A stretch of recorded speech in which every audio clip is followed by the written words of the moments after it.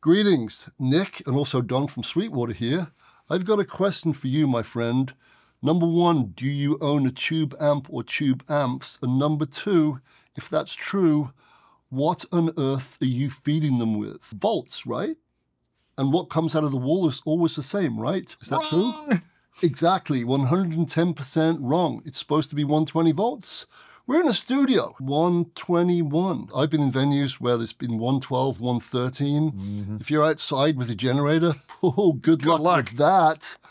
And sometimes it can go up to 125, 126. While some vintage amps, and we'll get more into that in a minute, like around 110, 108 volts, most modern amps don't. They like to live within 117 and 120 volts.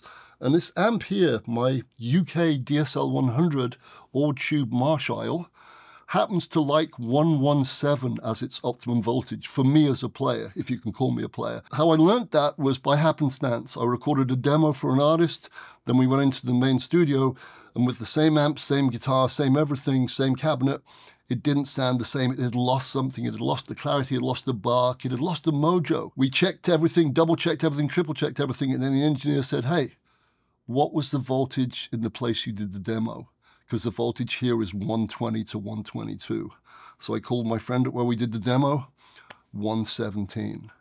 And believe it or not, those three or four volts made all the difference in the world. And to prove that, I'm going to play a riff at 121, which is what we're getting right now, because right now the brown box is in between the amp and the wall, but it's not doing anything. It's on bypass. Then the one and only Don Carr is going to click it down. We'll go to 117 and I'll play the same riff again, allegedly. And we've both heard and felt the difference. Everyone in the room has. Hopefully, it will come across your phone or your iPad or your PC or whatever on earth you're listening to this on. So let's get off standby.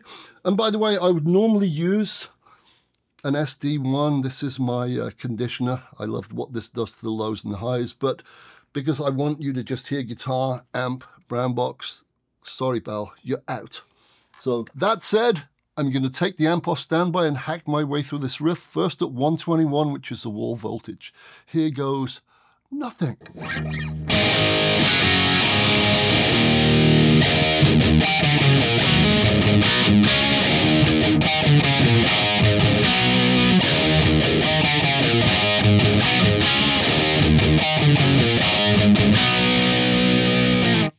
Sorry, I didn't like that. Ignore the quality of the playing or lack thereof. It was stiff. It was hard to play. It gave me no symbiotic je ne sais quoi. I didn't want to play it. So now I'm going to go to the one and only Don and have him please turn it down to 117, one click at a time. Let's do this. Okay. And the other thing about this is that as you click down, you'll notice that the voltage kind of goes down and goes back up and goes.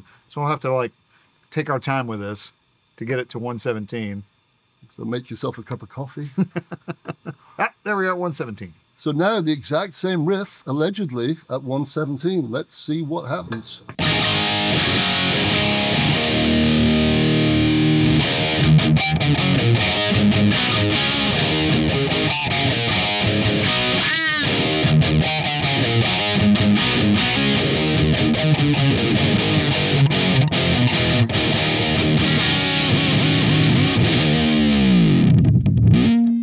That's more like it. It felt good. It made me play better than I played before. To me, it was tighter, had more bark, had more clarity, and it just felt right to play. Yeah, the low end is just it's just better. I mean that it's tighter, it's more refined, it's more contained, it's in the spot where you want it to be. Uh, at 121, the low end was a little looser, honestly. Yeah, and it was stiff. It felt stiff to play. I have the older version, The, uh, the original box. brown box, Yeah, the original brown box, big boy down which is- there, right? Which is this guy right here. This is the two, but I have this guy in the in the one.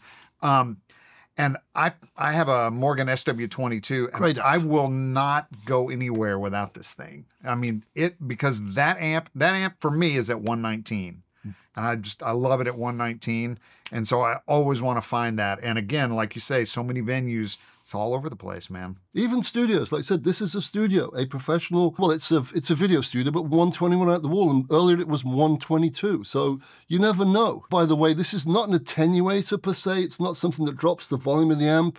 It does attenuate the voltage if you want, but that's a different story altogether. It's also not a regulator. What it is, it's controlling the voltage coming out of the wall before it hits your amp. And by tweaking it, you can find the sweet spot. And this bad boy is great. The folk at Amp RX say that this is for the vintage guy because, like I said before, there were certain vintage amps that really really, really work well at 110. And what people don't realize is back at that in that era, that was the voltage coming out of the walls. Exactly. It was 110 originally back in the Yeah. you know back in the 60s, right? The grid, nothing to do with the matrix, the grid. And the cool thing about this bad boy is it goes down in increments of one. So you can get down one volt at a time, seven volts.